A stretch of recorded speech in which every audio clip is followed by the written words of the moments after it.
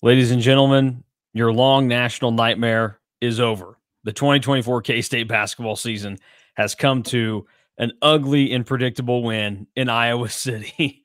Uh, look, this team, they said we missed the NCAA tournament. It would be wrong of us to not go out and give the performance that caused us to miss the NCAA tournament as they go out and turn the ball over a bunch. They look lost. Some guys look like they don't want to be out there. Tylor Perry just has an off night shooting the basketball. A lot of issues with what took place for K State in their NIT game uh, against Iowa, and their season does come to an end. So, uh, welcome into K State Online. Mason Voth, Drew Galloway. I'm going to try and uh, not wake my daughter up, or my wife will kick my ass. So, uh, if you're like, man, Mason's talking softer than usual, or something's going, that would be why I uh, the, where I record from is right below her room. So this is a just a, oh. a bold strategy, and if she wakes up, I have to deal with her and my wife screaming uh, for different reasons. So we'll see how this uh, plays out. But Drew, uh, K State falls 91 82, the final score. They, you know, similar to the loss to Iowa State, they got it close at times in the second half here, but once they got it close, they'd melt down, they'd do something silly and let Iowa push it back up. And it seemed like a lot of the struggles in this game, it stemmed from guys that all season we've said you have to rely on these guys to be good and come through for you to have a chance. And Arthur Kaluma did nothing for you tonight after making the, that first three of the game. Cam Carter picked it up a little bit later, late. I, I think he was hustling tonight. I just think he's not a very smart player and, and good when he's asked to do more than what he should. And then Tylor Perry, the shots weren't falling. So uh, before we get into the good and the positive and the looking ahead stuff that came from tonight's game, uh, why did K State lose and what's your takeaway from it? I mean, you hit the nail on the head. It's it's like I've seen this movie before a million other times this season where K State looked pretty good at times, looked pretty bad at times, had some really ugly turnovers. I made the joke uh, talking to some of my friends that I think the only turnover that K State hadn't had was stepping over the the out of bounds line or the the baseline trying to throw the ball in, and we got that today. So it's a bingo for anybody that's been keeping track all season. Um, but it was just a microcosm of the season. Uh, another thing that I'll just throw out is a reason that they lost, at least this game. The defensive effort at times was pretty gross. Like it was leaving shooters wide open. Yeah, and I would also I would also go in to say uh, in terms of leaving shooters wide open. Uh, this, this goes back to my point. Anybody that's uh, listened to me for a while knows that I'm a big proponent of playing offense in basketball. Uh, we saw tonight that uh, uh, the best defense is a good offense, and that's what Iowa did, and that's that's what's made this K State team so frustrating to me all season long. Is the fact that when you look at it, they just they, they've never had the offensive horses to be a legitimate threat and be a really good team this year. They had when they were lucky, maybe two or three guys that could play a good offensive game for you. And tonight, you ran into a team that has it all over the place.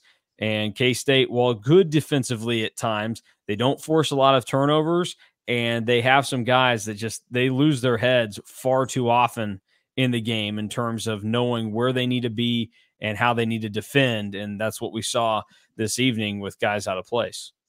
Yeah, it was just a whole like collapse pretty much defensively in the first half, where I wrote like nothing that they tried or didn't try was going to work because for half the time they just had Sand Sandfort was wide open or they just kept fouling. I mean, it, it's hard to stay in a game when you get out free throw the way that K State did tonight. And, and I also feel bad kind of spiking the football here a little bit when it didn't go in K State's favor. But I, I did say that this was going to be the exact thing that happened, where it was going to be an offensive showcase. And I thought that K State didn't have the horses, and yep. K State did not have the horses tonight. Yeah, no, no doubt about that. Uh, so the season comes to an end for K State. They they get to finish things off, and uh, they will go home. And now we'll see kind of what comes next for the Wildcats, who. Uh, uh, you know, obviously going to be moments from this season that were really good, but they were a four and one team in Big 12 play at one point, and they finished eight and 10 and they had a big losing streak tossed in there. It was it was just never a fun team to watch this season. Even the wins were not fun for this team, and the season finishes at 19 and 15. And now uh, there will be questions moving forward about a lot of different things that Jerome Tang and his staff have to address in the offseason. We know that Tylor Perry and Will McNair will not be back. They can't come back. They don't have the option to. Arthur Kaluma has a year. He likely will not be back. Cam Carter is was only a junior, so he can come back, but we'll see, you know, what the path ends up being for him. One guy that will be back next season is Dai Dai Ames, and he was probably the lone bright spot in this game for K State tonight. 16 points, was efficient on the offensive side of the ball. Had five five assists, but also the big thing, was four or five from three, and we really saw his three point shooting have an uptick probably since that road game at BYU. And that's a really encouraging thing for him because for a while there, you started to think, okay, he can do some things. There's going to be a good player in there, but he just may be one of those guys that can never shoot. Maybe it's an apparition, but he did it enough consistently down the stretch that I'm excited to see Dai Dai Ames' game develop even more going into next season. And that, I mean, that's that's probably the biggest and best takeaway from this season for K State is how Dai Dai Ames developed. Yeah, before you could say with Dai Dai Ames, like I think it was around middle of January where he was pretty inefficient still, and to the to the level of like Jevon Thomas, if you want to get like into yeah. the numbers there. And then it's one of those where like you just had to squint and you're like, okay, I think that he can become a good player still because he was still making good plays. He just wasn't finishing around the basket or shooting well now it's like, holy crap, like what's the level of leap that Dai Ames can make in the next year? And the the thing that makes you encouraged is that even though he was a maddening player at a lot of times this year, we did see Cam Carter take a pretty significant jump after a year. So you're hoping that Dai Dai can really take a big jump and become a more efficient player than Cam Carter was this season and we've seen it already that the, that this staff has a track record of guards getting better. So you're you're hoping that he takes a leap. The thing that impressed me the most wasn't even the shooting. I thought the passing tonight from Dai Dai was incredible and was something that had been kind of missing in K State's offense all season long. Yeah, that's a good point. Uh, Dai Dai Ames, if my math is correct, uh, with tonight's performance going four or five behind the three point line, will finish the season as a just below a 33% three point shooter, uh, which is pretty good considering where things were after the non con. Uh, in conference play, he was 38% from three. So if you want to go that UCF game on, he was even better than that. Um, now that's low volume. That would only be 34 shots that he took uh, from the UCF game on, but encouraging nonetheless. And that's a real positive. Another guy that has the option to come back. He went through the senior day stuff, but he could come back next year. And I think that K State would like it is David N'Guessan. He had a pretty strong night, 12 and 7. We know that for a while now he's been banged up and playing through a pretty significant injury, but he came out, gave it his all again tonight, and he he played better down the stretch of the season, more consistent when he had the rest. I think we saw in the game against Iowa State that it, it was just too much for him to go back to back nights given the condition he's in right now. But that's another guy on this roster when you talk about who do you want back next year? David N'Guessan should be on that list because not only is he a serviceable piece for you, and do I think that he can get better, but also he's a guy that when he comes back, he's not going to expect a different role. He is going to come in, give you the work that you need and want out of him, and he's going he's not going to take anything off for you. And I think that's what you need next year is to make sure that you have a, a team full of guys that not only do they have it up here in their head, but they also have it in here. And I think that we saw one of the things that was the biggest killer of this K State team this year was that they couldn't balance that out where they had some guys that didn't have it up here, they didn't have some guys that had it in here, and then you had some guys that just they didn't have either. And next year you need more guys. Like I I think if you had more dudes that played the way that David N'Guessan and Tylor Perry did tonight. And I know that Tylor Perry did not have a good shooting game, but he was still playing hard. He's wanted it. Like if you had guys that played and cared like those two did, like a full roster of them, K State would not have been in the NIT this year. But I think they had some guys that had some lackadaisical performances and just didn't really give a damn about how things were going to finish up for them. Yeah, the if we were making a list of who I would want back next season, I honestly think even with how much I talked about how Dai has a super high ceiling, I think David N'Guessan would be my number one choice because of what you pointed out. He is a program guy. You need guys like him in your program to be stable. I think in this day of college basketball, especially having somebody that is around for three years in the program, kind of knows the ins and outs, has been to an Elite Eight, has had a bad year uh, as a team. Like you think that you would think that his hunger would just be like ready to roll uh, starting next season because he's just been through it. And you hope that next year, like Cam Carter becomes a little bit more vocal if he comes back. So those are that's my biggest reason for having David N'Guessan back. I, I would also encourage him to just spend a lot of time at the free throw line over the summer because True. if he's going to be out there at the end of games next year, yeah, I think that we've had two years of it now that teams are just going to start fouling him in a close game. Yeah, he needs to. He's at the point now where the rest of the game is there.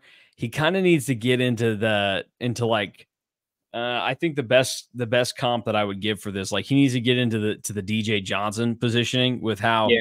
you think about how DJ became a shooter, like at the end of everything. And what I would like point out with that is, you know, maybe not necessarily, well, the free throws are in there too, but like DJ, the first two years at K State that he played, he was a 55 and 51% free throw shooter. And then he jumped up to 67% his junior year. Uh, he had that year out with an injury, but then his last year, the the first four team, he was seventy percent at the line. And honestly, with that team, you almost felt like he was your best option to go to the line. And not only had he gotten to a point where he had the rhythm and like the the muscle memory at the free throw line, he had also added that spot at like the block extended. I think that's where David N'Guessan needs to work. It's you're not trying to become a better shooter because you're just not going to be able to do that. But if you can go out and do it enough, like what you're saying, and get the muscle memory down where you can trick yourself into becoming a serviceable free throw shooter where David N'Guessan, one of K-State's most energetic players on the floor, can be out there at the end of games instead of having to put somebody else out on the floor. So I, I think that's a good point about N'Guessan. And the other thing that we saw, and we've kind of already talked about it, but K-State has to go out and find guys that can score the basketball from beyond the perimeter in the offseason. Yeah. And you have that has to be a priority because – the teams that Jerome Tang had that were talented and good at Baylor, they had shooters. And we saw this year, K State just didn't have enough of them. Yeah. Uh, so again, adding with N'Guessan, if he even gets to like 63% from yeah. where he is right now, that would make a huge difference. But K State needs a lot of shooters on the perimeter, especially if Arthur Kaluma doesn't come back. You're already not getting Tylor Perry back. You need guys that can fill it up. Because, like you said, Baylor's best team was the national championship team that had three elite shooters on it. So if K State can find two elite shooters and have Dai develop into more of uh, a shooter by volume to add with his percentage, this could be a fun offense. And just having shooters just opens up things so much because that because that's also like adds to Dai Dai Ames's best skill set, which is getting to the rim. It's a lot easier to get to the rim when you got when you have guys close out hard on you. Yeah, no, that's that's a good point. So we'll, we'll see where uh, that kind of goes. All right, probably the biggest off-season elephant in the room, and we'll we'll talk much deeper about this K State season and what comes next uh, on Sunday when when we reunite for the uh, the final in-season Sunday show of the year with KSU underscore fan because I'm sure he'll have thoughts on everything. Um, actually, I guess shoot, we don't even have to record it or, at our normal time on Sunday because uh, we won't have a game to worry about. Um, Cam Carter, what is the solution and the next move with him? Where do you stand on that? Because how you feel may be different from what has to happen or what does happen. Uh, but do you want him back, or or how should the Cam Carter situation be handled moving forward? I, I, want Cam Carter back because kind of like for the same reason of Dave of David N'Guessan, we're in the era of lots of like one one year guys coming into the program, coming out. you need somebody that has been there before. But I, I think that we're at a point now where we've seen where he probably needs to be on a team where he's the third or fourth option on the offensive end because of how streaky he is and how how he is dribbling the ball because he's he's not the best ball handler because he still gets a little sped up.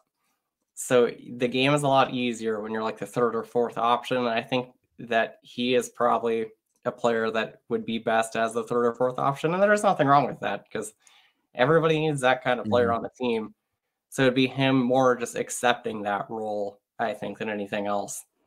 Yeah, I mean, look, there's the best point and example recently for that, and the benefit for Cam Carter is is that it's not going to be you're in this role in this role, and then your last season it's totally different for you. But I would, you know, different issues, different type of player. But to me, like Xavier Sneed is a prime example of he was a really good player for K State and important to a team that won a Big 12 title and went to an Elite Eight when he was maybe the fourth best player on yeah. that team. And we saw his senior year, like K State was crappy in 2020 when he had to be expected to be the best player on that team. Cartier Diarra, similar boat on that team, where when he had to play more and have a bigger role, his flaws were put on show. Last year, Cam Carter there were there were problems there with his game, but like they you didn't ask as much of him. He didn't have the ball as much. They weren't as notable. And that's one of the things to point out about this year is Cam Carter, who seemed like he turned it over a lot. The rate at which he turned the ball over this season was less than what he did last year, but he had thousands more touches this year than he did last season. And the expectation was that he needed to be K State's best or second best player this season. So I would say this Cam, I would like Cam Carter back next season, but you have to guarantee that you're going to have a handful of players that are significantly better than him and going to be the true alphas of this team for K State. Uh, because you can't have the same situation you had this year where you have a top three of Perry, Kaluma, and Carter, and all of those guys are like 1B players at their peak. And so you have to get better there in some regard if you can't guarantee that you're going to upgrade the roster significantly in those top spots, I don't really know that there's a purpose for having Cam Carter back because it's just going to frustrate, I think, everybody involved in the situation. And Cam Carter has to get better over this offseason. Like, these are things that he can work on. You can watch more basketball. You can become a smarter basketball player. He needs to do that. He needs to work on his ball handling and not just like dribble, dribble, dribble, but like oh, this is a pass I do make. This is a pass I don't make. This is how I grab the ball because these are all, it seems very simple, all problems that he has. So uh, I'm not totally out on Cam Carter, but there needs to be a drastic reduction in what he does for this team. He also needs to become a more consistent three point shooter. But again, this is going to be his fourth year of college basketball coming up next year. I just don't know that that's in the cards for a guy that's been, you know, like around 31, 32% for his career. Uh, I'll also add to that if Cam Carter is K State's probably fourth best player next year, that the team is probably going to be pretty damn good. Mm-hmm. So that that's what you would like to see, and I mean it, it's definitely possible. We're we're on track right now to have, I think, potentially a better transfer portal just in terms of talent that's in the transfer portal already than we did last season. So there, there's there's some encouragement. Yeah. All right. Final thing, and we'll we'll talk deeper about this when it comes to Sunday and uh, give more reflective because the rest of the week, uh, you all can just rest easy knowing that we're going to talk about K State football, something that seems to be chugging in a very positive direction right now. Uh, I, I told people this, and everybody kind of knows my stance or should. In season, I was sick of hearing about the Nae'Qwan Tomlin crap. I it was the most worthless excuse for why they lost the game at Texas Tech and why they lost the game, you know, at BYU and why they lost this game here at Oklahoma State and what at, at some point like Nae'Qwan Tomlin was never on this team this season when games were being played. So they have to go out and find ways to win with the team that they currently have and they didn't. That's the expectation, that's what's needed of them. But I did always say that at the end of the season in big picture it should be considered and addressed and talked about that this team was without Nae'Qwan Tomlin, who easily would have been at least their second best player this year, uh, possibly their best. And you also were without Ques Glover, a significant rotation piece that you expected to have that could also help you handle the ball, that could have been on the floor more when Tylor Perry or Cam Carter were struggling, or you didn't have to rely on unready 18 year olds earlier in the season than you would have wanted. So that all played a significant role in why K State went 19 and 15. So I think when people talk about this season, it's important to not greatly melt down and overreact to the coaching job that Jerome Tang did and the way that this roster was built. Because at the end of the day, we never once got to see the actual roster that Jerome Tang constructed. Now, he did bring these players in to his program. So does Nae'Qwan Tomlin, you know, some of that responsibility fall on Jerome Tang for having a guy on the roster that – look, you can debate the merit of was it right or wrong that he was kicked off the team, but he had a guy that did enough things that built up to where somebody felt like he didn't belong on this team anymore. And you did bring in a guy that had injury history like Ques Glover. Those are fine things to say. But at the end of the day, K State never once had the roster that they anticipated having when, you know, they started workouts in September. So that is something to consider in the grand scheme of things. We've seen just two seasons of the Jerome Tang experience. One year was one of the best K State basketball seasons that we've seen in my lifetime. One probably if you're talking about fun, probably the most fun K State basketball season yeah.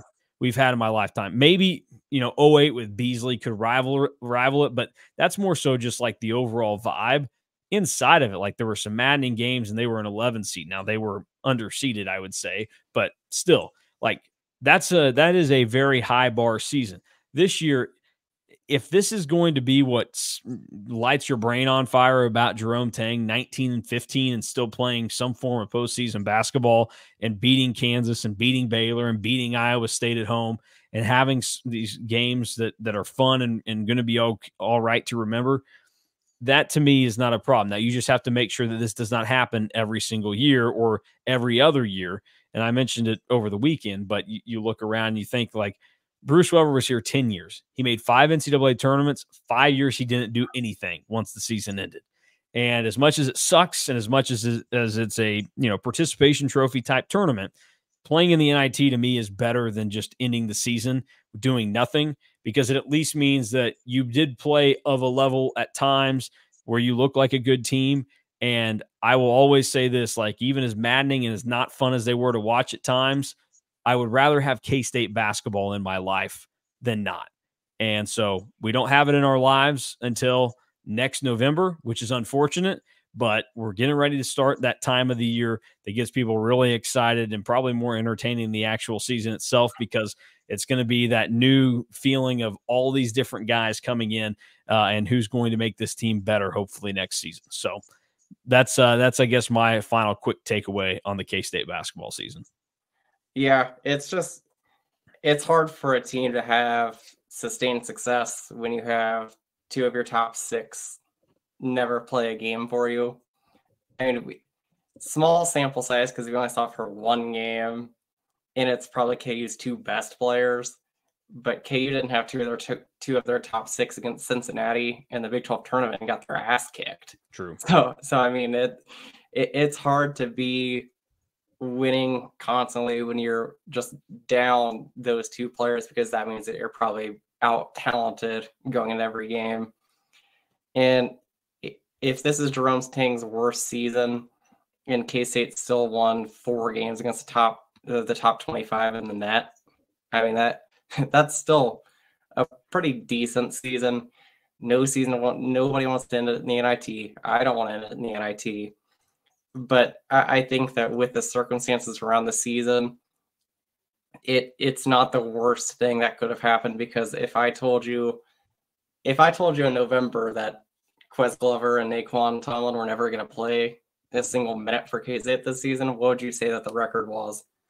Uh, I mean, there there was a time going in the season when even before we knew that Glover wasn't going to play, that I was like, this team is like 500 at best the way that things were feeling and looking like so uh, the fact that they finished 19 and 15 and even gave themselves a very remote possibility uh, of being in the NCAA tournament, I think is is impressive enough. I, I think I think Jerome Tang actually did a, a, good job coaching this team this year, and I know some people don't want to hear that and they're going to be upset about that.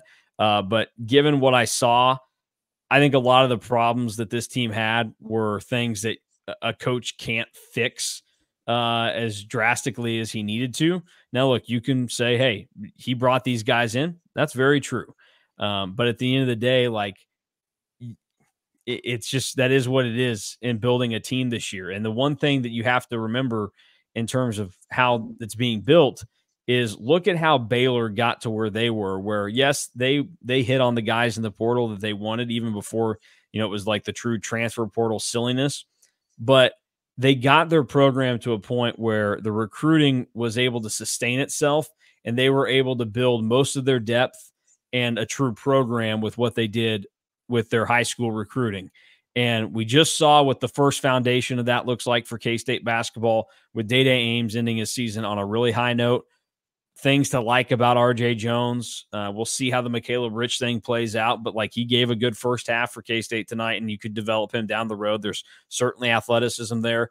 And you're bringing in David Castillo, who to me has more immediate on the floor upside than any of the three freshmen from this season because he's a legit shooter coming into this thing.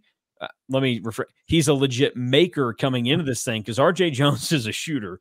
Uh, he needs to become a maker, but that is a benefit, and that's going to continue to happen. And when you do that, you have less pieces that you have to add, and you don't have this large overhaul like Jerome Tang had to do after a team that went to the Elite Eight last season. So that is another thing to keep in, in mind. And I, that's I think Jerome Tang did um, as well of a job as he could have this year, given the circumstances and everything he had go on. Uh, he's just going to have to make sure that he gets it right in in 2025. Yeah, your your best teams are the ones that have high school guys added with transfers, and I hate saying this because I really don't like them, but how Iowa State's roster construction is, like that's probably the perfect roster construction of you have a lot of high school talented guys and you've found the right transfers. So yeah. if, if they can find the right transfers going into the next season, I mean, you have to like where K State's at because you have all this talent that's already in the under in the underclassmen so far. Yeah, no, that is a uh, a very good point and probably a good way to end it. I guess I would would say uh, if you if you want it to be like Iowa State, a challenge probably needs to be given out to uh, Manhattan High.